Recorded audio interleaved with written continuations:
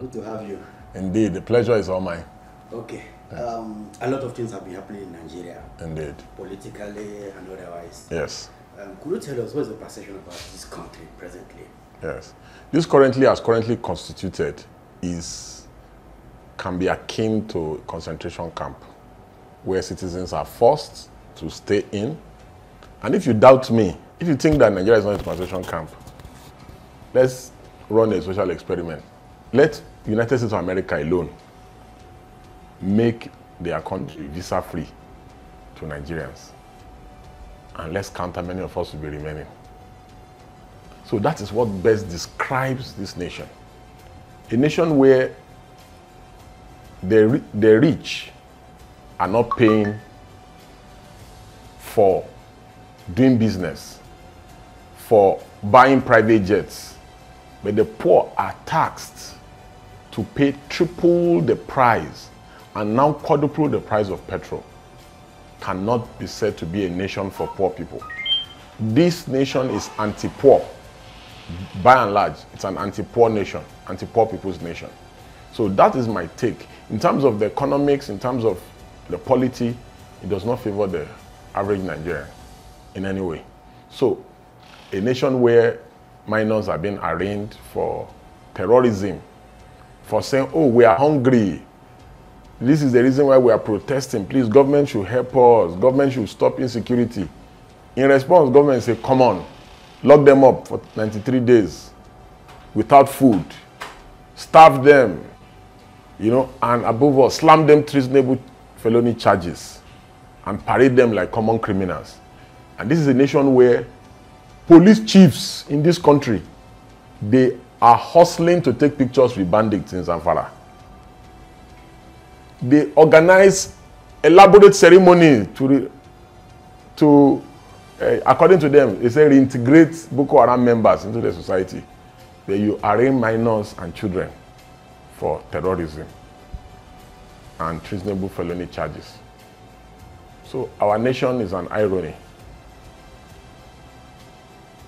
Okay, talking about the, uh, the arraignment of the minors, those minors recently, you were part of those who um, actively ensured that um, those guys were um, released.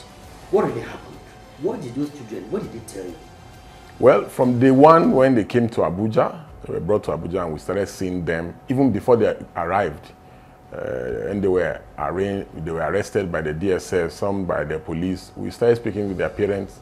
Many of the minors were just in front of their homes. Police came to raid. Uh, it was a joint task force of police, SSS, and other security. They came to raid. So anybody that is seen on site, on site, they just arrest them. So like one of the minors that the mother uh, still called me even yesterday was just sitting in front. They were playing football. So immediately they had police, police, everybody started running. You know, it's a Nigerian thing. And as they were running, police arrested both the adults and the minors. The, anybody they just see on site, they arrested them. And subsequently, we started tracing where were they? Where have they been taken to? They say, oh, they were taken to Kaduna. Some say, oh, it's Abuja. So we kept doing back and forth between first, first uh, uh, CID, first headquarter, and the notorious abattoir, where there's now uh, IRT and uh, kidnapping unit and all that. So that was where we eventually found them. There is nobody, and I'm on record, there's nobody in this country that we did not meet, except maybe just maybe the president and the vice, that we didn't beg that these children be released to us. You know, and we kept at this for over two months. When it became obvious and clear to us that everybody will say, oh, we have orders not to release them. We have orders not to. We had to go to court to go and force their arraignment. And if not for Uh, our, the actions that we took to file fundamental right proceedings against the government and to put pressure on ensuring that the kids were arraigned, I can assure you that the kids will not have been arraigned 93 days later. You know, we had gone to Justice Winte's court on three occasions to move applications, and the police intentionally will not come. And it was at the last adjourned that we told the police, we told uh, the court that if the police does not come, that the children must be set free. Only for us to be now be told that, oh, The police have just filed charges against the children and other uh, protesters who were arrested in Kaduna and Kano. So that was what led to the arraignment of the kids and the international embarrassment that we saw in open court on the day of the arraignment.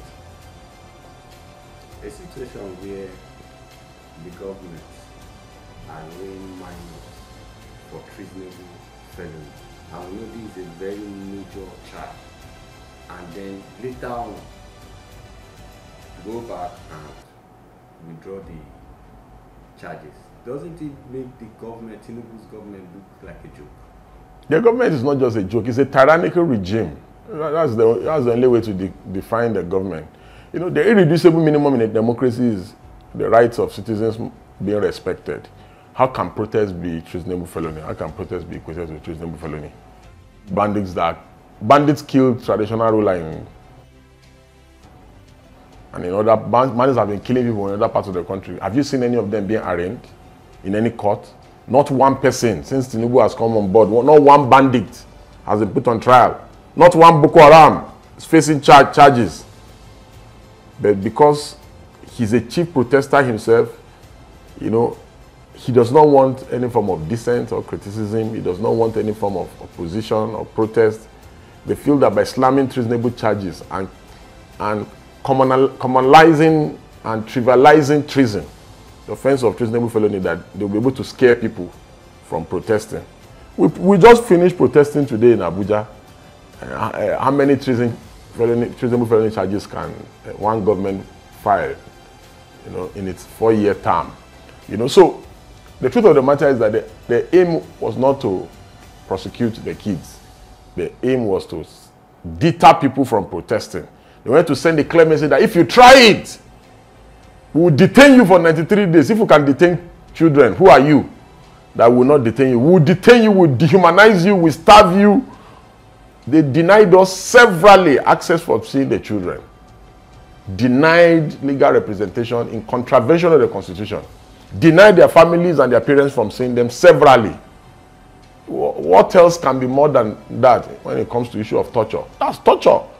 Deny them from feeding, that's torture, simplicity. You know, so these are the problems that the government is not just a huge joke. You know, the government, this government is not different from a military regime. There's no difference. Tell me, Abacha did not uh, arrest or arraign children in open court. This president fled the country. Well, he didn't want to be arrested when Abacha was looking for him. Today is the one arresting children and putting them on trial for treasonable felony. While bandits roam, roam about the whole country. Free. Bandits operate for seven, eight hours unchallenged in most parts of the country. Look at Kaduna. They've ceded most parts of Kaduna to bandits. Sokoto, Kebbi, Zamfara, all ceded to bandits kidnapping is have, have kidnappers have, are having a field day in the country. The kids cannot protest bad governance. Kids protest bad governance. You arrest them, you imprison them, you starve them, and you slam them to them with char charges, then parade them in front of the camera before the whole world. But who do we hold? You made mention of something now that while you were going about trying to get the government to go about the issue.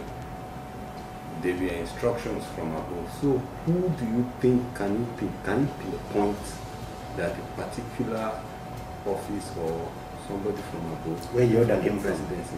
The president is the person to blame and nobody else. The box stops on his table. Every day the president gets security report. So you want to tell me for that for 93 days. The president did not have any report that minors were arrested in, from Kano and Kaduna.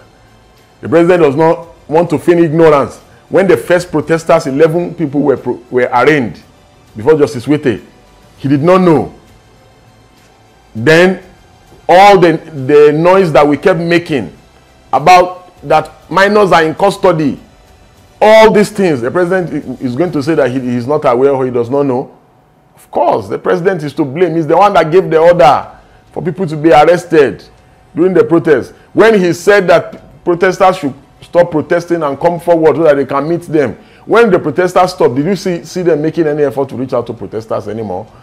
The only uh, step they took was to arrest and yeah, put lock everybody up. So he, the president is to blame and nobody else. Okay, okay, comrade. Um, during the 2023 election, you were among those who um, were vocal. You, you, you, you said Tinubu was not actually the right person for Nigeria, apart from Sowore. So now 2027 is ahead. Tinubu, from all what you said, he has fared woefully. Woefully. Now, who do you think will salvage this country? Left to me, I would say by now we should be discussing issues of critical stakeholders coming together. Tinubu and the APC, they are the common de de denomin de denominator who are the main enemies of Nigeria. At this point, you should not be, oh, this person is better. Oh, no, no, no, no, no. Let all the political stakeholders in the country come together and fight the APC government and Bola Ahmed Tinubu.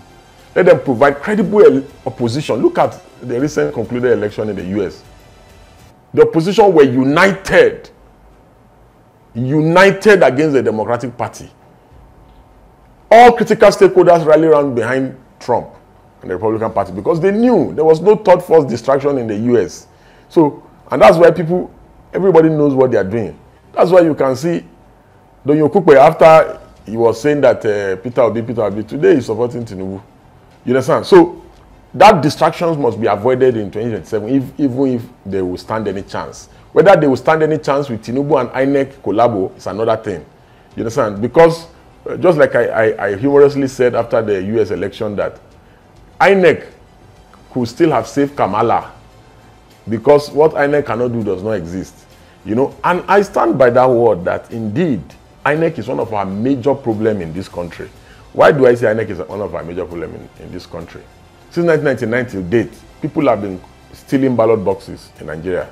People have been buying vote. People have been snatching ballot box and infringing harm on voters and party agents. Not one person has been put on trial by INEC. So INEC, our security agencies who commando and provide cover for electoral malpractice and rigging, those are our main problem. Yes, many Nigerians will tell you that uh, even the legal profession, the judiciary are complicit. But if INEC were to be credible, uh, to be truly independent, we will have less problem. Another way for political stakeholders, since we already know that majority of the people in INEC are politicians, card-carrying member of APC. You have Professor Gumos from Bayelsa, who we are in court with. This that, that we kept, we have been saying that this woman cannot be an INEC national commissioner. She's an APC card-carrying member from Bayelsa.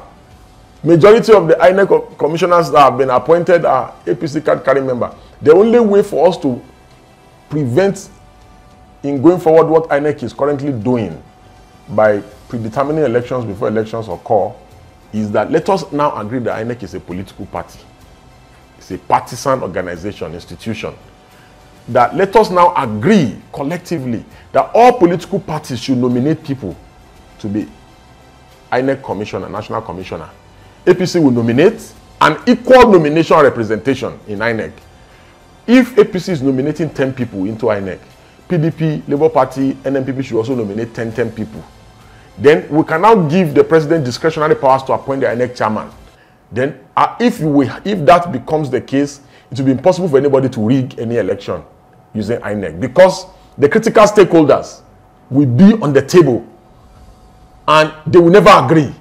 You will never have an INEC consensus to rig for a particular political party because by not doing so, we are still deceiving ourselves because the people who are there are politicians already. The national commissioners and INEC are politicians. Take it to the bank. I'm the one. My name is Dadinyoju. I'm the one saying it. They are all politicians. They are not. They are not independent-minded people. Don't you think P2B would have done better than Tinubu if I won the, the, won the last election? Yes. Left to me, if Tinubu is on the ballot, Atiku is on the ballot, Peter Obi is on the ballot, even if, and I don't drink alcohol, I've never drank alcohol in my life even if assuming without considering that I'm drunk, I will vote Peter Obi among these three people. But what changed the factor for me is I cannot have a Sowore on that ticket, on the ballot, and still vote Peter Obi. Because ideologically speaking, Peter Obi is not that much different from a Bola Ahmed Tinubu or an Atiku. because all the capitalism campaigns they ran it together. I will remove fuel subsidy. I, why is it that you, you must always remove fuel subsidy? Why can't you remove subsidy for the politicians and the rich people? Do you know how much we are subsidizing dangote in this country? Nigeria practically subsidized dangote. Dangote is living on the lifespan of nigeria. Do you know how much we subsidize for akpabio? Godswill akpabio.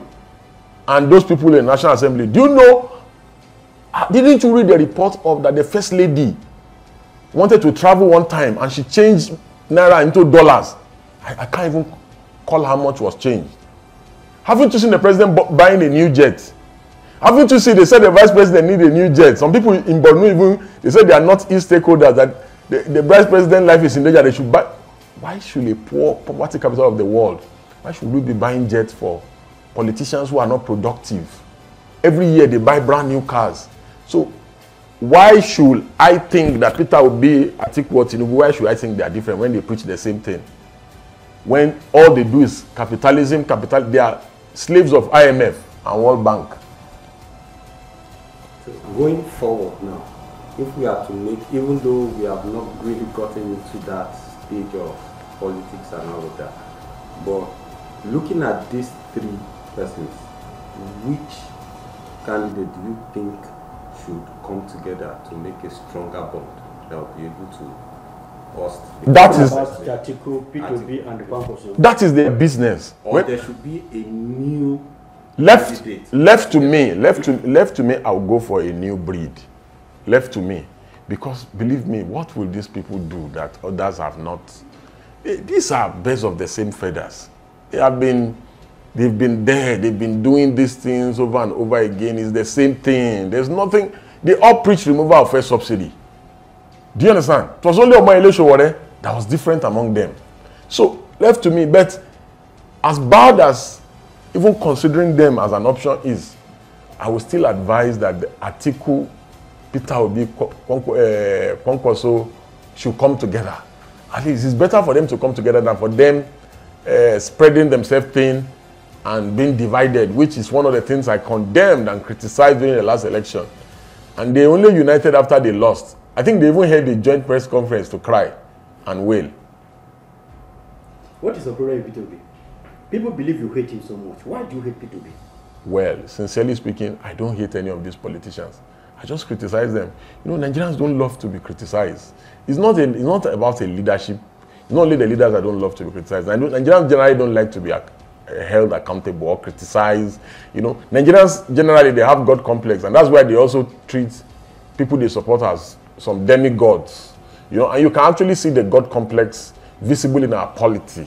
You know, uh, most Nigerians block people who criticize or insult them. I think I'm one of the only Nigerians that even retweet criticism and insults and slander and libel.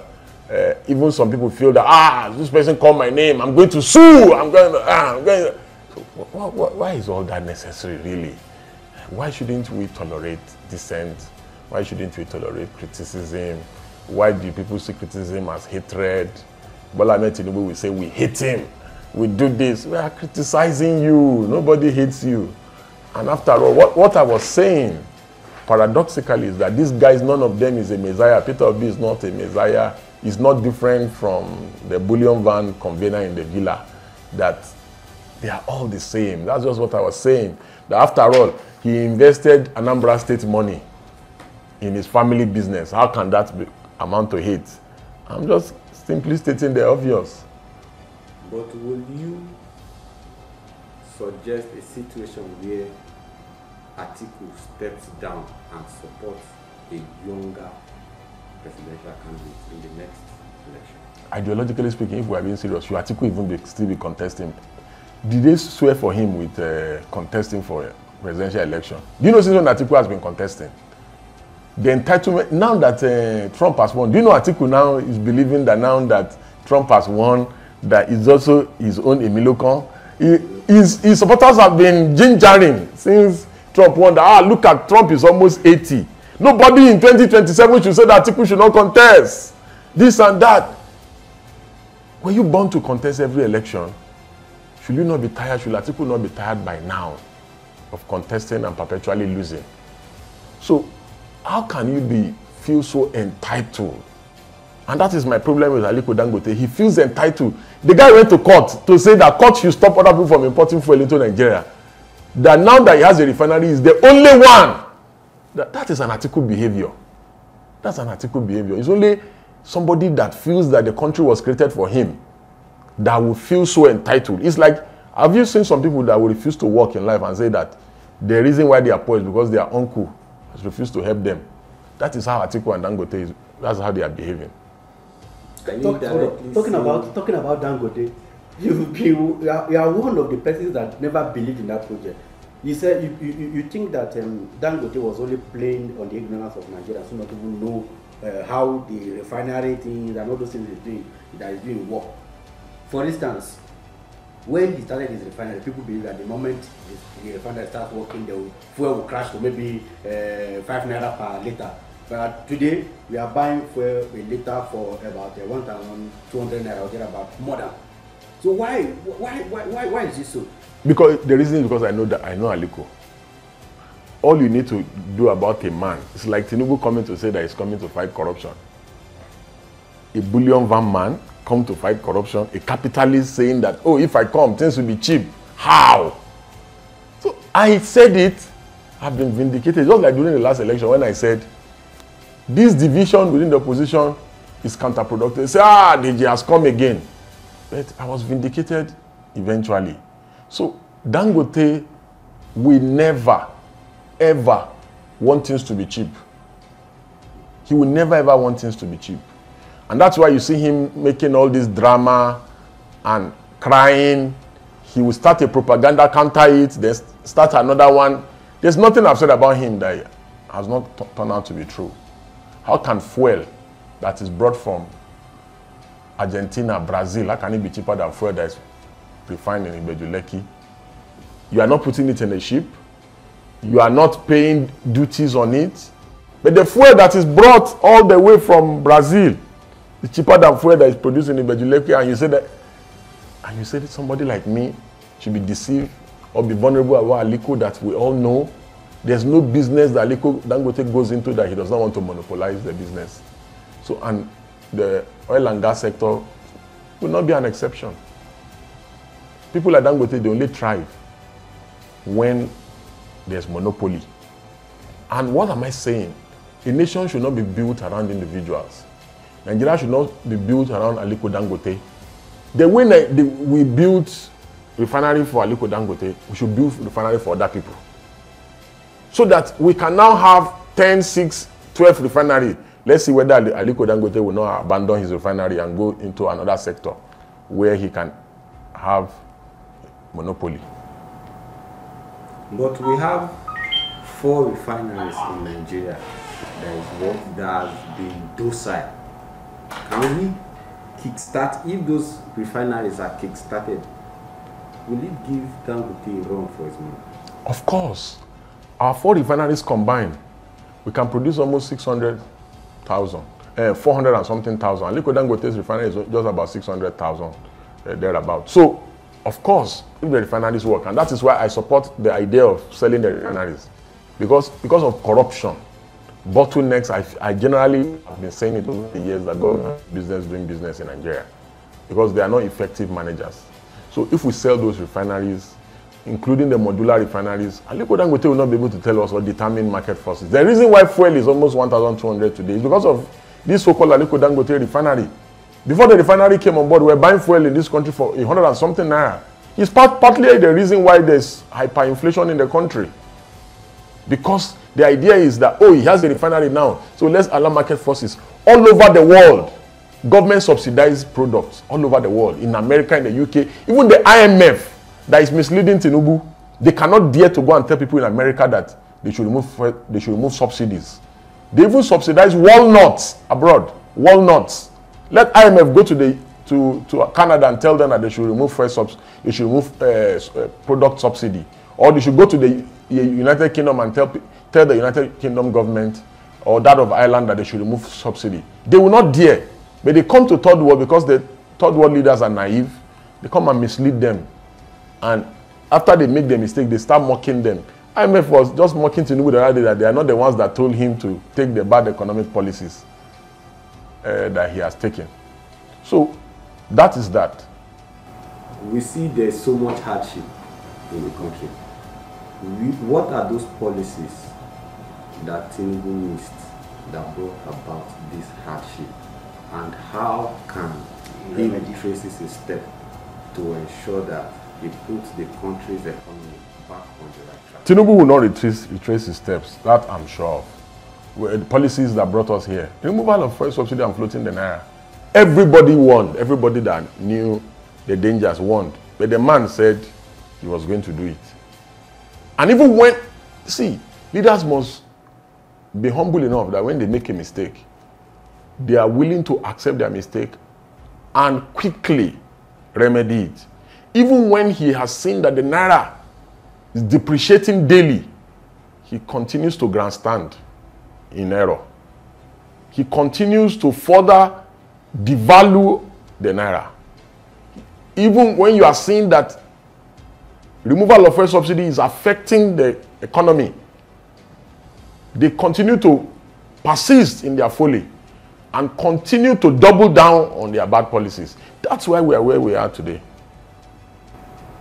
On a final note, are you projecting that Nigeria will ever come out of this economic hardship all through till The end of the Tinubu's tenure. Tinubu's tenure, or you are seeing more hardship till the end of his tenure? Even if you ask Tinubu this question, he will tell you that Nigeria will not come out of hardship. If you ask Tinubu, well, I meant Tinubu this question, he will tell you that Nigeria will not come out of hardship under him. So why are you not asking me that kind of question? When you know that even the person that is president, if you ask him, have you not heard the audio he made that he said that he knows that he has destroyed the economy, that he knows that his policies are hurting Nigerians.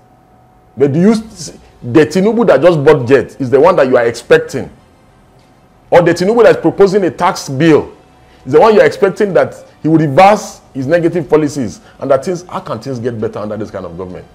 If you give Tinubu 300 years, things will never get better. Finally, 2027 is around the corner. What advice do you have for us to get to? My advice to Nigerians is very simple that they must impress it upon the political actors to unite against the Tinubu government and the APC government. If, if, that if Nigerians will not come together and kill APC, APC will kill them and finish them off. You know, and that if Nigerians like, they should continue living in denial. And they should, con- the people that collected money in Edo, three days later, they're already hungry. The INEC official that compromised in Edo, the money they collected has finished because the money has lost value. 20 million naira now has no value in the country. You cannot do anything with 20 million naira. So the, the compromise is not worth it. You know, the compromise, the silence, you know, the lack of integrity is not worth it. The only thing that can make this country work and function well is if we all come together and we, and we do what is right and get our country working back again. Thank you.